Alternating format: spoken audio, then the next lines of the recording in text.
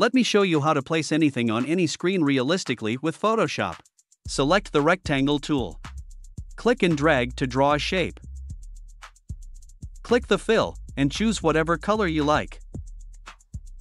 And the stroke choose the no stroke. Right click on the rectangle layer and choose the convert to smart object. Press Ctrl T to select the free transform tool and right click choose the distort. Click and drag of the corner handles.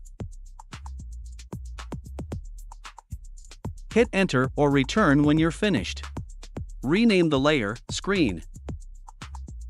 Then turn off the layer. Select the background layer.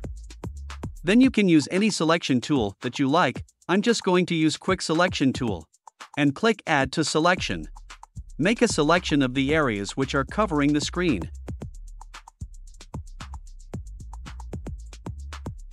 Turn on the top layer. Invert selection, go to select and choose the inverse.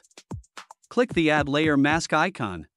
Press Ctrl J to duplicate background layer.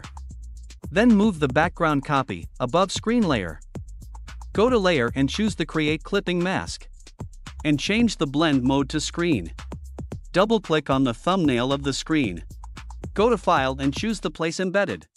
And place your TikTok screenshot. Click and drag of the handles. Hit enter or return when you're finished.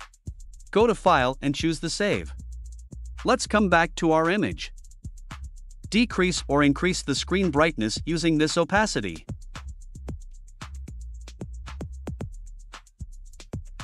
And that's it, hope you liked it.